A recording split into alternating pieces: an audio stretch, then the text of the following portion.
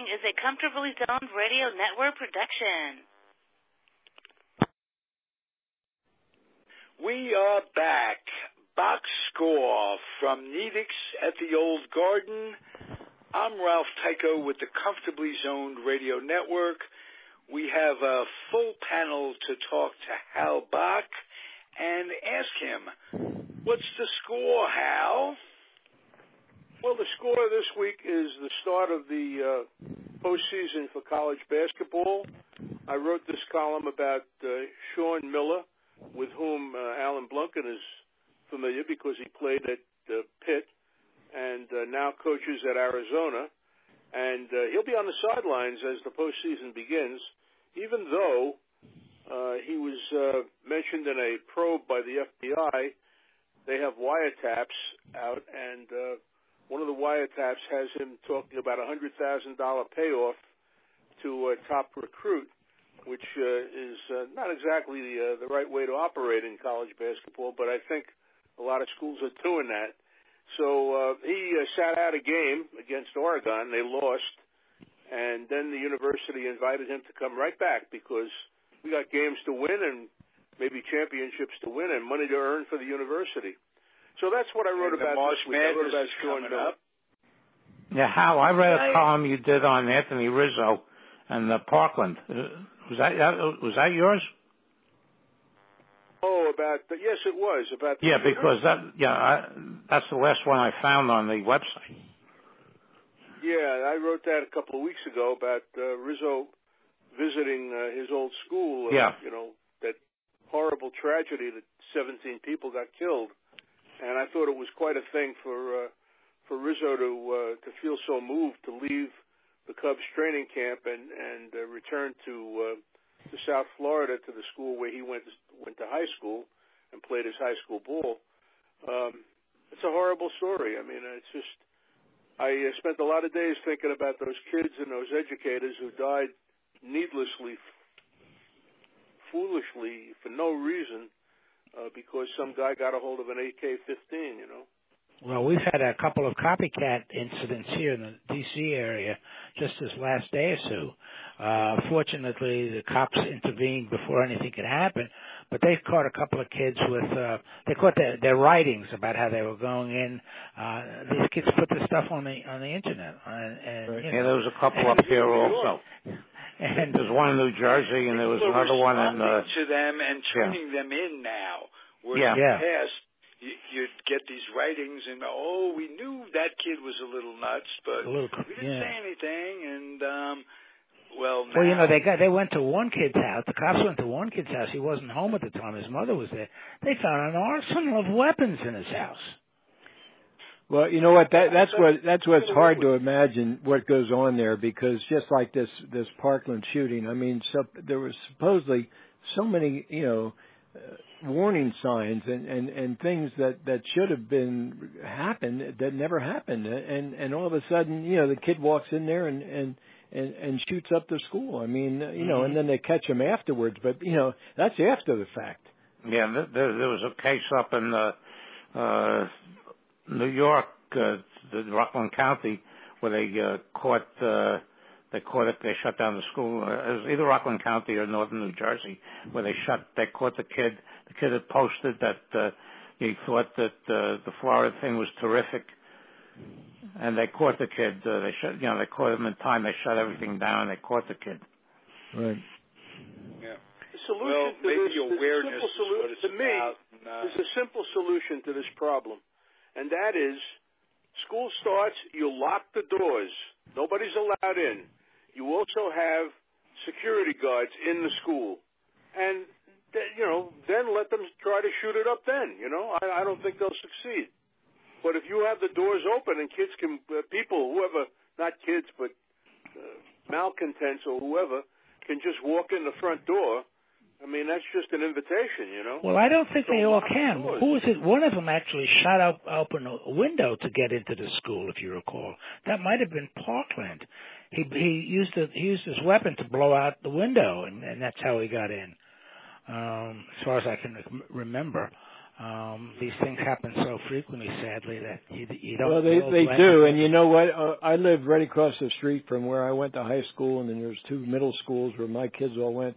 And, and you know, the security, uh, there is no security. I mean, what the, you know, maybe there will be eventually, but right now there's a sign on the door, and the sign says, you know, unauthorized personnel not allowed in.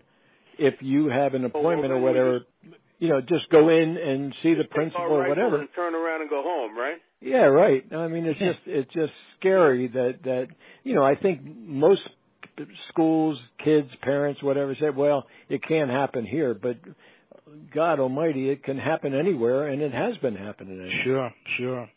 Yeah, that they're, they're what I was encouraged by was the reaction of those kids.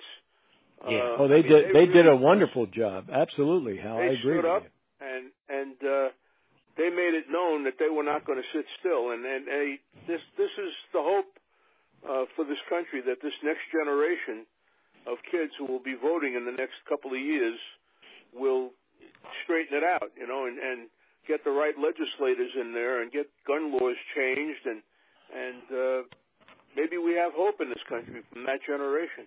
Yeah, well, if you look at Florida, I mean, Florida, the legislature there is already considering bills to make it more difficult. And that's unusual. Florida is like the gun capital you know, outside of Texas. Florida is the gun capital of the world, and um, they they're passing legislation to raise the age to 21. And uh, there were a couple of other. Uh, they haven't gone as far as to ban uh, AR-15s. Uh, but there's, there's a couple of other restrictions that they, the fact that they're even considering this in the state in the state right. legislature down there is an amazing turning point. point, and there will be some legislation uh, that uh, the governor will sign into law. He's already said so. How you, you, you, brought you put on that? by these kids protesting. Yes, absolutely. Yeah. We, and they, as we all know, are our future. So that's very encouraging. Yeah, I, I was really uh, touched by uh, uh, Rizzo's reaction to that. Uh, the closest thing I remember is last year when uh, Todd Frazier hit a foul ball at Yankee Stadium that hit a little girl. Yes, he was he was broken up by that, and he he wound up befriending the uh, the family of the uh, little girl, and uh, you know uh, he he, he went to the hospital, well. if I recall. Yeah. Well, Frazier's a very decent guy. I've talked to him, and and he's a very passionate kind of a guy, and and I can understand why he would do that. Uh, I know that there are some players who wouldn't, so take my word for it. I've been in clubhouses, Yeah. but right. uh, not Todd Frazier. Yeah, well, they are extending the netting uh, at Yankee Stadium this season. Yeah. They're doing it at all the ballparks. Yeah. They, they should have done that a long time ago. Yeah. I, I've I've been to ball games and I've sat there and I mean I've been around so many ball games. I said, you know, this this is suicide here. I mean, a line drive coming off a bat, you have no defense, and it's a wonder that that people haven't been killed. Well, I tell you, I was sitting in the, one of those luxury boxes at uh, in Cleveland uh, with some buddies about I think about two years ago now, and uh, foul. Now this is up in the mezzanine kind of level, and the windows were open. It was just out looking out onto the field, and people in the next place they weren't even paying attention to the game. You could tell Right. because you could hear all the noise.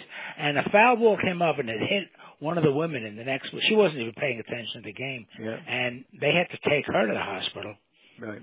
And that was pretty far away from the. Oh yeah, that itself. that would be yeah. But if you if you're sitting, uh, you know, be, where there were no screens or netting uh, until now, I mean, you were really in danger because Oh, yeah. down there on the field. You know, I I sat with uh, you know watching with some friends and you know left-handers coming up, and I said, and then we were sitting on the third base side. I said, be ready. I said, if one comes this way, you know, it's going to come so fast you can't even react. Yes. Yeah. I'll tell you a little story about that. I was covering a game at Shea Stadium, and when you're working for the Associated Press, you're writing at almost all the time. Your your head is down. Right. It was the ninth inning, and I was writing my lead, and I foolishly had my head down. Joe Morgan was the hitter, and he hit a foul ball that came whistling into the press box and grazed my cheek while I had my head down. Whoa. so, Wow. fortunately, fortunately, it didn't hit me in the eye, but uh, it came very Right. close. So that was my adventure. Oh, that's a scary story, Hal. That, I could see absolutely see where that could happen. No, no question about it. There's a And what you're coach- what you're saying, a lot of people, a lot of fans. I mean, I've even seen pictures where you know guys are getting foul balls. They're they're they have a little child in their arms. They're they're dropping. Yes, the kids. isn't that insane? What are the people thinking about for crying out And they- It's a and- baseball. You know. Yeah, they Buy a bring ball this for base. five and a half dollars. You know. Well, not only that, it's the thought of bringing these infants to the infants to the ball game, Right. strapping them to your chest, Right. you know, Right. which is what they do. Just, just and unbelievable. yeah, I know. Yep. But you know, I can My recall only the, coach community. got killed several years ago by a, a line drive foul ball during a game. Who? A minor league coach, his last name was Coolbaugh. Oh, I, I remember that. Yeah, this was several years ago. I do remember that. I also remember the story of a guy and got hit by a foul ball, was being carried off out of the stands, and as he's being carried off, he gets hit by another foul ball. Really? Yeah, I think that was. Uh, I think well, I don't know whether it was that instance, but I, I know they talked about Richie Ashburn doing that. Yeah. Uh, you know, not uh, obviously not intentionally, but the fact is that that his reputation was, you know, he he fouled off a lot of pitches. I think it was Richie Ashburn, and I think it had it was in his Hall of Fame induction speech, Hmm. or or somebody talking about him. I think it was Richie Ashburn. Okay. Another guy like that played in your dad's day. Uh, a Luke Appling. ball. Uh, uh, Luke Appling. Yeah, he used to. Right. Right. He, he's Yep. got that Yeah, Luke. reputation. Luke Appling, you know, I was reading a funny thing about it. You know, old ache. We were talking the other day about nicknames. I mean, his nickname was Old Aches and Pains. You know, not because the ball players called him that, but because Luke Appling was always complaining. You know, this, this, that, and the other thing hurt. And uh, you know, but but he was such a great, you know, Hall of Fame player. Uh, but you know, and, and I think it wasn't David at an old timers game in Yep. Washington. He Yeah. hit a He hit a home, home run, run. off of Warren Spahn, I think. Yeah, right down the left field line. Uh, it, it, it was only about 250 feet to the Yeah, they the moved the there. fence in or something, right? Yeah. Well, it was because of the way the the field was configured. It was it wasn't really configured for baseball anymore. Okay. So, Right. but I mean, yeah, he he poked one out of there, and he, Hey. he jogged around the bases like looking like Babe Ruth. Yeah, I we want to take Lions a story. Speaking of, of for somebody stretch. The only reason to go out to Warren see the White Sox in the 30s and 40s. Hmm. Yes. On in 1962, the Braves came in to play the horrendous Mets in a doubleheader at the Polo Grounds, and I was at that doubleheader. I had to leave after the first game. It was Yom Kippur, and I had to go to some family thing. But after the first the first game ends in the bottom of the ninth, when Hobie Landrith hits a walk-off home run off Warren Spahn. and the Mets won. One of those ones that dropped into the first row in the Polo Grounds down the right field line. I right field or left field would. Yeah. same Well, that, oh, yeah, absolutely. Um, And uh, they said that Sp- Spahn tore up the whole uh, locker room after that one. oh, I can. You know- it like You know a that- you know that in the game, too. You had a 1954 gem of a game going, and to be be beat by Hobie Landrith, and the Mets won the second game in a walk-off. I wasn't there. I don't remember. I don't certainly don't remember it firsthand, but I read about uh, the results, and um, that was dramatic because they, they were so bad in those, in that those early years. Um, In the 1954 World Series between Cleveland and the, uh, the New York Giants, Giants, right? the uh, the Indians were uh, uh, had Bob Lemon on the mound, and the Giants sent up a pinch hitter named Dusty Rhodes, a left-handed batter, hmm and he hit a little pop fly. The second baseman for the Indians, Bobby Avila, started to go back on it because it was a pop fly, Right. but it nailed the score, scoreboard in right field, an overhanging scoreboard, for a game-winning home run. And 25 years later, Bob Lemon was the manager of the Yankees, and he was still angry about that home run because we had a we, we had he would come into the press room after the game, and uh, he would sit and just visit with the writers, and it was wonderful. I mean, he had all kinds of stories, but the one What- story that irritated him the most was that Polo Grounds home run by Bobby by uh, Dusty Rhodes. Well, you know what, Hal? I'm, I'm glad you I'm glad you mentioned. of that being a Giant fan, Hal. I Yeah. bet you, you probably Well, didn't well, that- mention it, but I That World Series was amazing Are because kidding they're they're the Indians won 111 games, and they go in right. and uh, you know they get swept by the Giants because all of a sudden they're they're playing at the Polo Grounds, and like Hal said, you know, got Dusty Rhodes hitting a pop up home run. I think he hit a second one the next day or something. And And Vic there's- Wertz hitting the Oh, ball yeah. And there's Vic Vic Wertz. Vic Wertz hits a 430 foot shot to center field that's an That's an out, out. because it was caught by Willie Mays. Yeah. Yeah, but I, I, I have a book uh, by. Alvin Dark that he came out with years ago, and he put in there that the, the Giants and the Indians used to barnstorm east because they were they both tra- uh, trained in Arizona. Right. They said there were three things that the Giants were not intimidated by them. He said they uh, they were slow and they were lousy on defense. And the Giants, the Giants, because they played them so often during spring training, uh, Doc said that the, you know they were as a team they were not intimidated by the Indians. Right.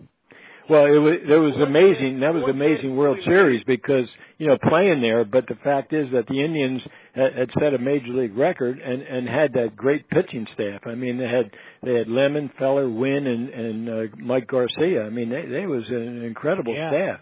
Yeah, well, the, the And next and yet second you know game, and yet the Giants were able to sweep them in four straight. the second game, uh, uh, Al Smith leads off for the Indians in the first inning.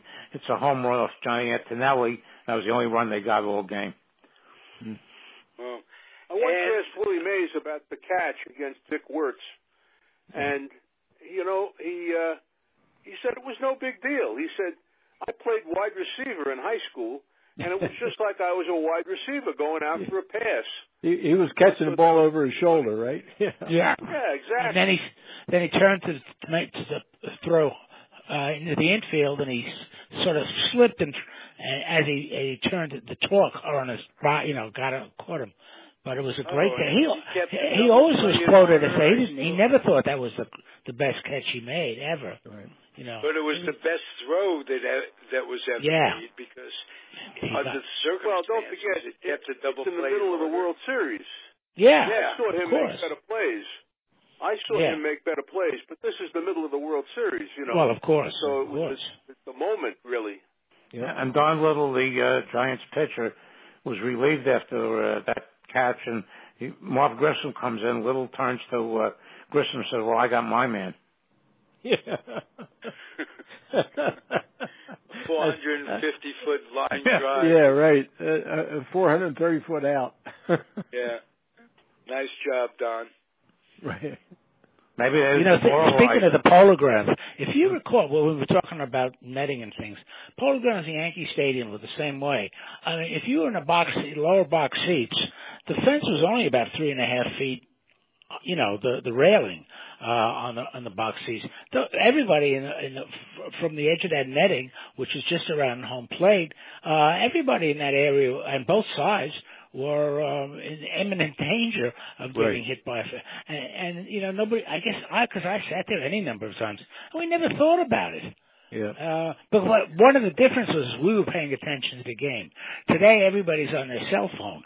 That's Well, all you're- do. you're- they don't You're right. You're absolutely right. David, you're right about that. I, I've I've mentioned that many times. I mean, people used to go to a game to be entertained, and, and that, I mean, the, the entertainment was the ball game. I mean, now they're doing everything else, and Mhm. you know, you'll You know, see fans. You know, they're, in those they're, days, they're- in yeah, they're talking day, on the cell phones. They're they're playing on the kiss camera. They're doing all this kind of nonsense, and they're not watching the game. Awful. Right, right, right. But I was we at- used to score the game. Of course. Like Al was talking. He's his head is down writing. Fans would score the game and um take. Yeah, but you weren't. You were- you you knew you put the score in and then you lo- and you looked up. You didn't sit there looking at the at the cell phone. Right, um, right. Or, and that absolutely true. And and I was at I was at the game up in Baltimore. It turned out to be the the last game of of Cal Ripken's streak. The next day he didn't play, but the people in in the row uh with me in and out, in and out, all throughout the game. I don't think they watched a half an inning of the ball game. Right. I don't know what they were doing, but every half I inning. don't understand that. Why? Why did you come to the ballpark? Just I to know. watch Yeah, The ball game? I know. Right. It's I know. become a corporate perk, Yeah, exactly. Yeah. and they don't really care about the game. It's just part of, uh, you know, a socialization thing, um, whatever. But you know, when seats are $125 a head, you could understand that that um, you're not getting the family atmosphere anymore. No, Yeah, but if I'll I paid I'll tell you one other thing. Let me- let me for a seat, just I'd mention- keep my fanny right down on Yeah, I want to mention one other my thing money's, about that. money's worth. Ralph and, and David and, and Alan. I was at a ball game at Yankee Stadium two years ago. My my cousin invited me, and I was happy to go. We had seats right next to the dugout, and and you know it was a wonderful seat. Well, a, gentleman who I went with, he probably saw what Dave was talking about. He probably saw maybe one or two innings. The rest of the time, he was in the gourmet restaurant hmm having having like uh, you know uh, uh, unbelievable you know lobster tails and steak and all this kind of. I mean, it used to be the old ballpark food was you know hot dog, peanuts, cracker jack, a beer or a soda, whatever. Now Right. you know they've got all those gourmet restaurants and, and shopping malls inside you know a, a place like Yankee Stadium. Yeah, well, my cousin calls the new Yankee Stadium a, sho- a shopping mall with a ballpark inside. Yeah, basically that's it, uh, uh, David. It's just you know, it bothers me again being a, an old guy and a traditionalist, but you know, I grew up in ballparks and and ballpark food, and you went to the ballpark and that was it. I mean, today it's a different situation. I mean, the fans. You know they're there to be entertained by you know all those crazy contests and and fanograms Oh, I and all know, that I stuff. know. mean, it's just it's a different world, and and if you ask them, uh, you know, to tell you a little bit about what's going on, I think half the time they'll have absolutely no idea what the score even is. No, but they will tell You you which president won the race in the fourth inning at Nats Park, because that's the important thing. They go to watch Yeah. these clowns run around. Absolutely, that's that's You know what it's I come think, down to. Where I think you can get that old feeling if you go to minor league games. We have some minor league baseball here in New York. We have the Right. Cyclones and and the Yankees uh, Farm Club in uh, their uh, Class A, the Rookie League, and you don't have that corporate crowd. You know, Right. uh, Right. Yeah. so you can No, get you're you're absolutely right about that, Hal.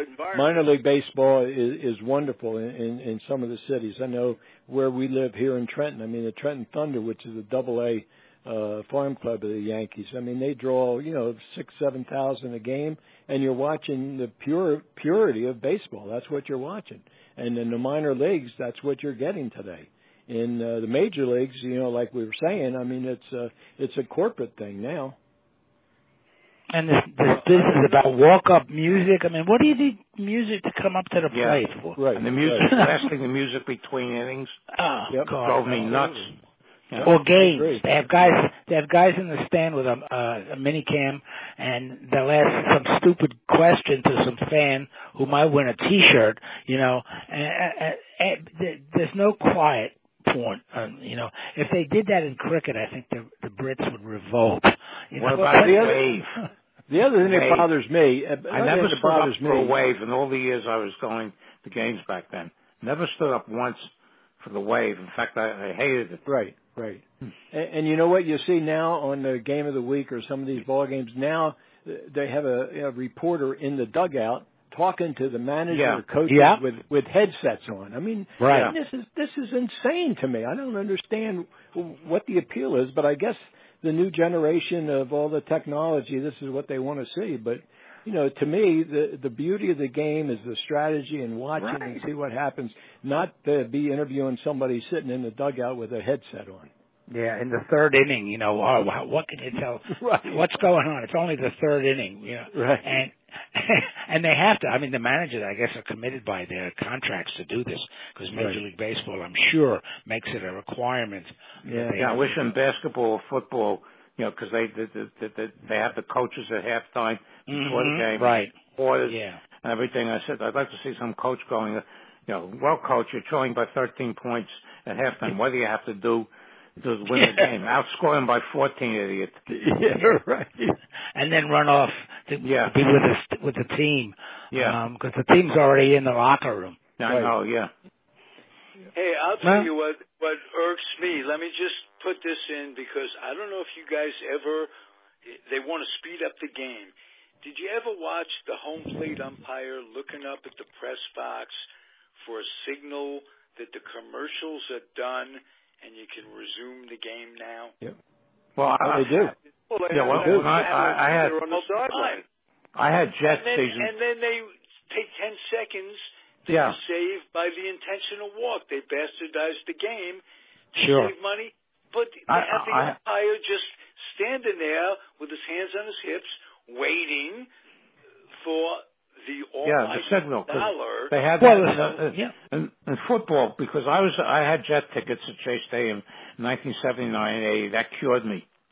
I haven't been to a pro football game. Oh, it's much worse now. Yeah, and, it's and much was worse. One of the games in the last year, they were playing the Hu- oh, the old Houston Oilers, and the game went into overtime, and it was raining. You know, and the fans are getting rained on, and every time you see the, when there was a change of possession or whatever, uh, you know, the, the, some guy in sitting low in the stands signals for the officials not to not to stop, and then signals after the commercials are done, they signal them to start again. Yeah, they sure wear they wear special the same way, sleeves. yeah. They're right on the sideline. They wear Yeah, special do. sleeves that they can be seen. Yeah, in, in colleges, I know. I know they do in college. I'm not sure how they do it in the pros, but in college, they, they've got a guy on the sideline. Oh yeah, and, Yeah. and he's got a he's got a jacket on, and he signals to the official on the field when there's a timeout. Mhm. And so, Yeah, you know, all of a sudden, you know, again, it's the tail wagging the dog. Here you have a you know a college team or whatever it is. You know, they're they're trying to you know have a sustained drive or they're trying to do something, and all of a sudden the whistle blows because it's a commercial timeout. On But you college know, the worst, basketball, the worst have part, said the the man- worst part of it basketball is, is that in in the NFL now, you don't even have that respite when they do call timeout because you get to see the same ads on the giant screens at either end of the stadium. Uh, I was in Cleveland, and I saw the the, the the screens are huge, and instead of just having okay, a few minutes, let's just calm down, be quiet. No, they've got all these ads going. Yeah, you're right. Yeah.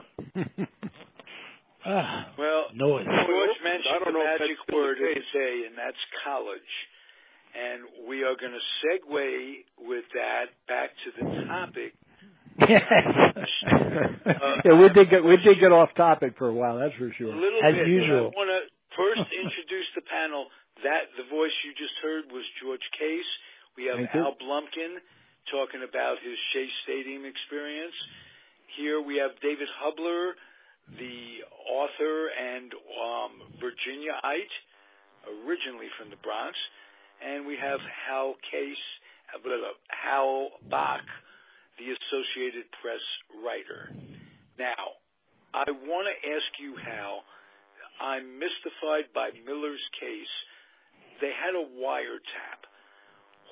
Was this leaked to the press? What what stage of investigation is this in? How um, how how did it come to be that they found out about the wiretap? Well, keep in mind, first of all, that back in November, the FBI uh, released the names of four assistant coaches who were uh, indicted for for uh, wire, after wiretaps for uh, uh, paying off players to go with agents, uh, essentially to sign with agents. And uh, one of those assistant coaches was a guy named Emmanuel Richardson. Emmanuel Richardson is an assistant coach at the University of Arizona. His nickname Nicknamed is the Book. book. Am I correct? The book. Book. Book Richardson had the book thrown at him. Now, I, as I wrote in this column this week, there is nothing that goes on in an athletic program in college that the head coach doesn't know about. So when Joe Paterno shrugged his shoulders over Jerry Sandusky's shenanigans at Penn State and said, "Well, I have no idea," I don't believe that for a moment. The same thing goes for Rick Pitino at Louisville. when they said, "Oh, uh, these guys had strippers in the dorms." I said, "Yeah, what? There's people who do that for a living? I never heard of that." Well, no, I think he did hear of it. So to tell me that Sean Miller didn't know about whatever Book Richardson was up to is just ludicrous. Now, what they caught Miller on a wiretap, the current wiretap issue, was uh, offering $100,000 to the top recruit uh, in the nation who wound up playing in Arizona, DeAndre Ayu, I think his name is. Ayton, A-Y-T-O-N. Yeah. What is it, A-Y-T-O-N? A-Y-T-O-N, yeah. Dayton without the D. right. Okay. And uh, they caught him on a wiretap offering 100 grand or, or discussing 100 grand. I don't know. He said, I'll, "We will give you 100 thousand dollars," but whatever he said was enough to implicate him. And all of a sudden, he was on a hot seat, and he disappeared for a game. He was not on the sidelines for their game against And Arizona lost. I mean, at, again against Oregon, Arizona lost that game. And the next thing you know, what pops the devil? Here he is, back on the sideline after the university said, "Well, our investigation shows that uh, no problem whatsoever with Coach Miller." And you know, that's to me, that's ludicrous. It's ridiculous. And what an investigation it must have been for, for 24 hour investigation. Yeah, exactly. Exactly. And the school's doing the investigating, right? Like and the kid, the, the kid is supposed to be the number one draft choice in the NBA draft. Uh, you know, he'll drop out of school as soon as the tournament is over and be ready for the NBA draft. Right. So I mean, that you know, it's like a sham. I, I I used to love college basketball. I still have some affection for it. As I sit here watching Syracuse play uh, Wake Forest in the ACC tournament, um, but but they're spoiling the game. They really are. Uh, because of what we discussed before, it's all become corporate. It's all become how much money can we raise for the university? How much money can we give the kids to get uh, the, the kids to get them to sign with us? I don't believe for a moment that the top-ranked uh, draft choices are not draft recruits. Don't some some understanding from the university or from the coach that uh, you come to our school and we'll take good care of you. And that goes, by the way, for the great John Wooden at UCLA, because they had a guy out there named Sam Gilbert who was a, a booster, and he took care of those players, and they won how many championships in a row? Eight, nine, ten. So I just believe this has been going on for an awfully long time. Well, it has been, Hal, and you know, over the years, uh, you know, my experience, and and I, I you know, I, I echo what you're talking about, but but coaches, you know, they had people, and you know, the nickname we used to call them bagmen. I mean, that that's what they were, and uh, you know, Yeah. they would they would make the the transactions, and they would uh, you know, kids would be driving around in in Mercedes and doing all kinds of stuff because the the uh, car dealership locally was was a was a great booster and fan. I mean, this kind of stuff's been going on for years and years and years. Now, you know, it's reached the point where where the FBI is involved, and we've talked about that. And now I think you know we're also in this whole thing. What you talked about, Hal, was you know somebody's leaking information, and whether ESPN or Yahoo or whoever it is, you know, they're trying to get a scoop, just like in the old days with newspapers. And, and maybe they were premature, and maybe they'd come up with stuff. But for Sean Miller, and and I I applaud him for doing what he did, but I can assure you, when he said I had nothing to do with it, it's probably true. But he knew what was going on. Believe me, he knew. I, I read in the paper uh, over the weekend that uh, the contract that uh, uh, CBS and uh, Turner uh, have with the uh, NCAA tournament, and Turner doesn't. It's the only time Turner broadcasts college basketball is during the tournament. Is paying the they're paying the NCAA uh, eleven million billion dollars over fourteen years. Yeah, billion, billion. Billion. I saw that. Right, right. Yep. wow. And and you know you're getting into March Madness. I mean, you know maybe this all is just going to blow over after March Madness, and then they're going to do the real investigative stuff. But I mean, there's a tremendous you know possibility of ratings hits and all this kind of stuff. And and now you know the whole thing with selection Sunday and all that kind of stuff. How many of these teams are going to be selected? I mean, there, there's cloud over a lot of them.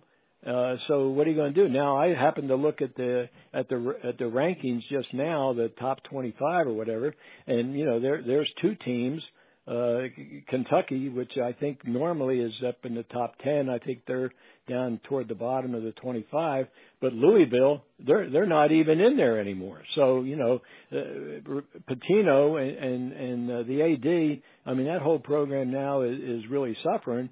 But on the other hand, what would happen if if all of a sudden you get these scandals and you know there's Duke and there's uh you know Arizona and and uh you know Villanova and Xavier and all these you know all these teams going into the selections and, and now there's a cloud over the coaches. Well, at this point, you know the only guy who's really under under the gun as far as I can see is Sean Miller and University of Arizona is backing him up. But as Hal said, I mean, they got a shot to win the national championship and bring millions and millions Yeah. of dollars into Arizona. Well, everything is brackets. They made they made the whole thing a national event with the bracketology, Right. and uh, you know, the, the, the, every uh, Tom, Dick, and Harry is running. Uh, when I was working, there was there's a guy who used to run uh, uh, run a uh, you know Numbers? contest uh, uh, with brackets. I won once in 1989. Michigan beat Seton Hall, but basically, uh, yeah, they're, they're all over offices, all over uh, casinos, everything. You could submit Right. submit these brackets, and uh, you're you're watching games from uh, noon until uh, you know till, till past midnight for for the uh, West Coast games, and uh, it just drives people abs- you know absolutely nuts. It's a billion dollar industry. Absolutely. It But just sure the is. brackets themselves, the whole bracket thing is a fortune. Well, it is, and You even it even our even our uh, last president, there. President Obama, I think Yeah. you know because he was a huge basketball fan, he was doing the brackets himself. And uh, you know, I mean, this has become you know all over the country. You're right. I mean, uh, in offices and you know Yeah. any place you go, you're you're going to see guys filling out brackets, and there's a chance to win some money. But on the other hand, you know, you might pick a, a guy a team to win the national championship, and they get knocked out in the first round. So I mean, that happens too. So so for the winner, uh, of it's it's almost uh, you know uh, impossible. But occasionally you will find somebody that's going to hit hit them all. Well, the one that was run at where I worked, uh, not, you know, not only got credit for winning the game, but you got points for the seed. So for number one seed, uh, like Duke, yeah, for the, for, you got points for the round and points for the seed. So if you got a number one like Duke, that's 27 points, but that's the maximum you could get with a number one seed. If you took a, a three seed, a th- I'm sorry, a 13 seed, and they won two games, that was worth more than uh, than, than a one seat going the whole way. Mm. Well, So it, it- it was creative. yep. Yeah. You know, we talk basketball almost the entire show, and we never use the expression student athlete. Ralph, You don't hear that. Ver- There, there aren't. I can tell you, there are not many student athletes in the top 25 basketball or football programs in the country.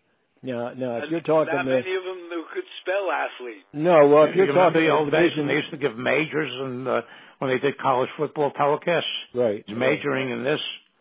right, And I was watching Penn State one day, and uh, they had a running back uh, named Blair Thomas who turned out to be a big bust with the Jets. And they said, well, he's majoring in park and recreation studies. right.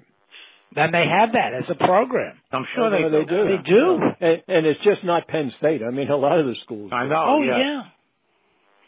I, I know. it- I know at Rutgers. when they I know at Rutgers. this- Rutgers this a couple they years ago, doing a, a kid got Yeah. kicked off the team because the uh, Kyle Flood, the football coach, wanted the the dance instructor to to Yeah. change the guy's uh, grade in, in in dance. Hmm. You know, I mean, this is just absurd, absurd.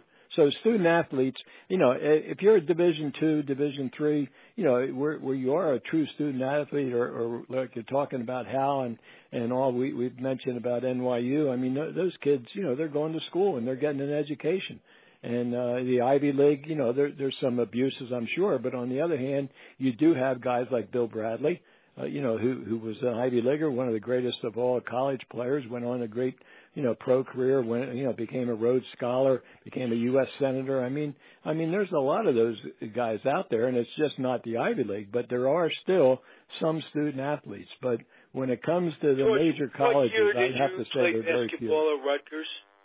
I was there in 61, 60, 61, and Bradley was at Princeton at six, in 65.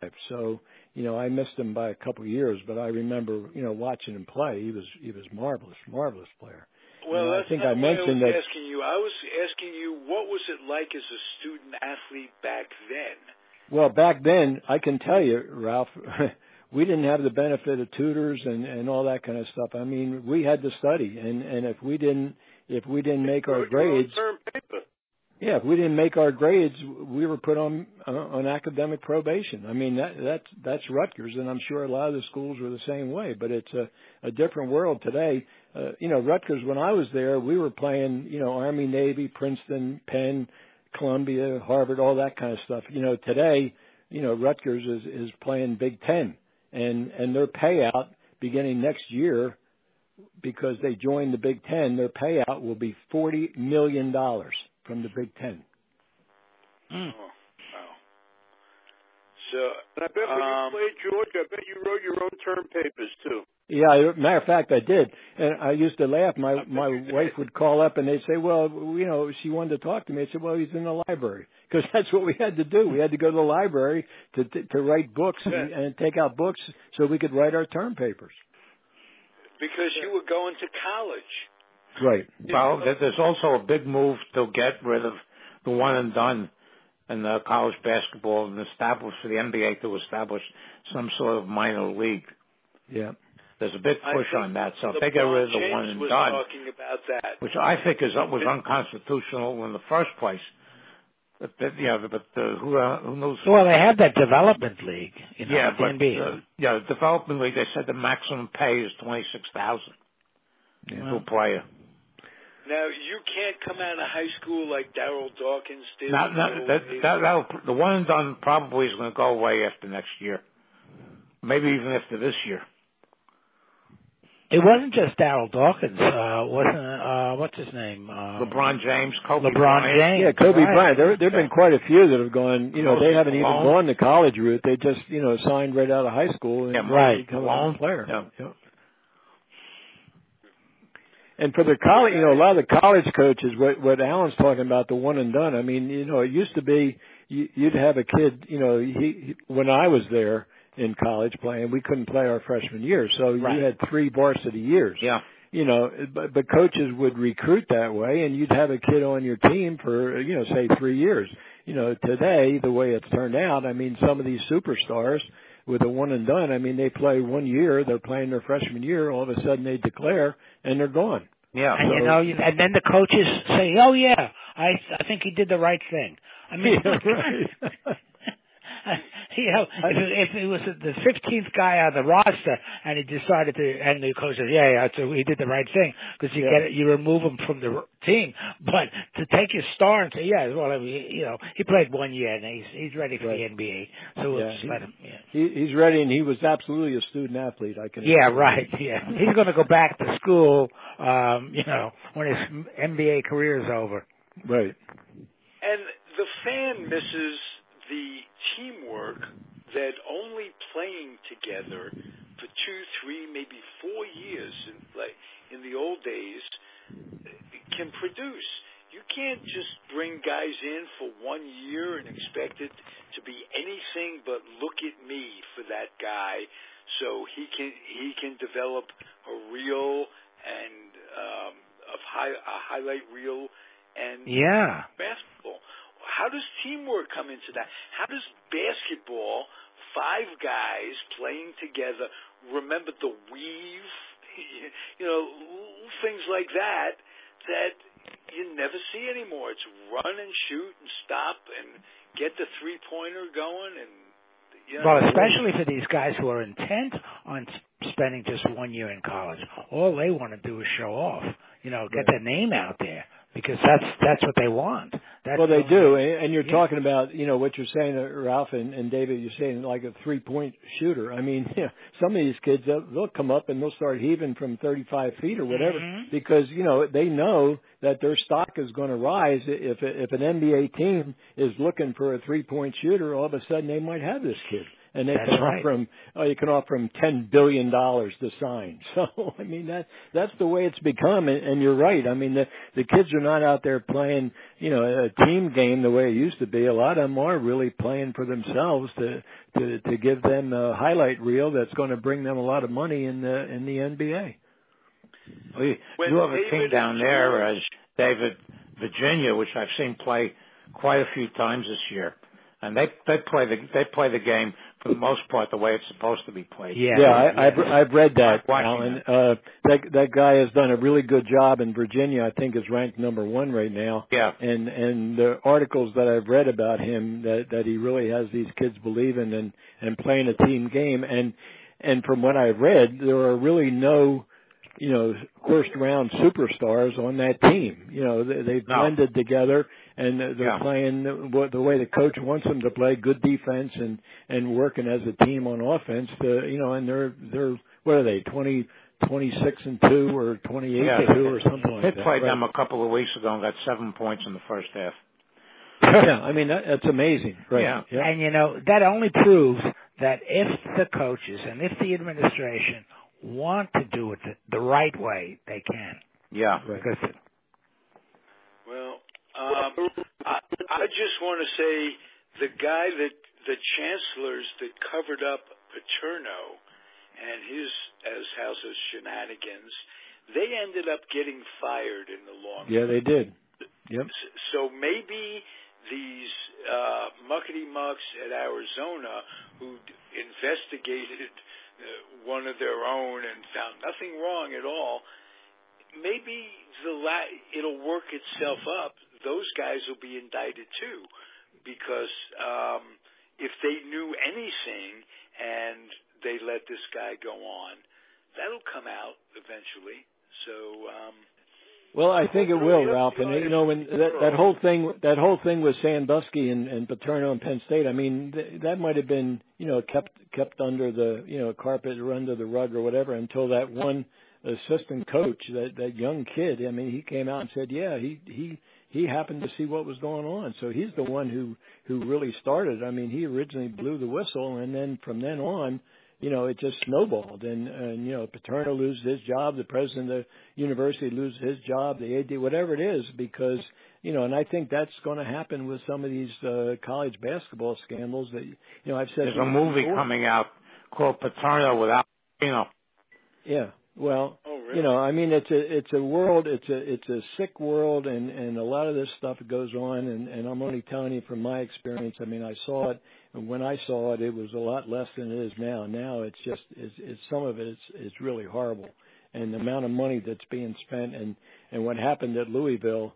I I mean, I hope it it's not happening elsewhere where you're actually putting money into a family to influence a kid to go to a certain school because of the shoe that they wear. And guys, I'm losing power on my phone. Okay. Okay. Uh, don't you have a real phone, like one that's got a wire Yeah, no, in this the is- wall?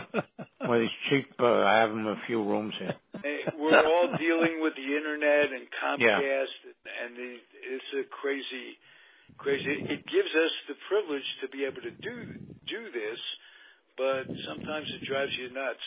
Um, so we excuse your phone now. Yeah, I've got to hang this up. okay. Okay. All right. Okay. We'll All right. speak to you next See everybody next week. Next Same time bad we're about, same we are channel. about to wrap it up. Is there anything that any of you have left unsaid and want to correct that right now? Start with the man, Hal Bock. Anything you want to close with? Uh, left unsaid was couldn't get to your uh, to your broadcast until 15 minutes late. I don't know what was going on with the phones, but uh, I I started dialing in before eight o'clock, and it took me 15 minutes to connect. So Well, um, you But I'm seem here. breaking up a little now. I don't know if the others are listening I'll to you. Hear it. Yeah, I can hear it. Yeah, I've heard that. So maybe it's just a bad connect in New Yorkville today. How about that? Could happen. All we'll, right. we'll blame it. We'll blame it on the weather. That's all. Hey, blame it on the bossa nova for crying out loud. Nobody does that There you anymore. go. They're always blaming other things, and that's Yeah, I've got to go. Uh, This is beeping too much. Okay. Okay. Thanks, Al, everyone. See you guys we all Bye, have Alan. to We'll go. see you. This has been terrific. Comfortably Zoned Radio Network. Uh, thanks for telling us the score, Hal. You got it now. All right, we'll be back next week. Same time, same bat channel, as Al would have said, but his phone went out. Thanks The bat to phone. The bat phone went. George- Yeah. All right, we'll- we'll see you, everybody. Okay. Yep. Take All care. right, George Case Jr., Bye-bye. Al Blumpkin, ha- um, Hal Bock, and myself, Ralph Tycho, the weak link of the Comfortably Zoned Radio Network. Thanks, guys. We'll talk to you real soon. Thank you. We'll, we'll see you all later. Bye bye. Thank you for listening. Be well.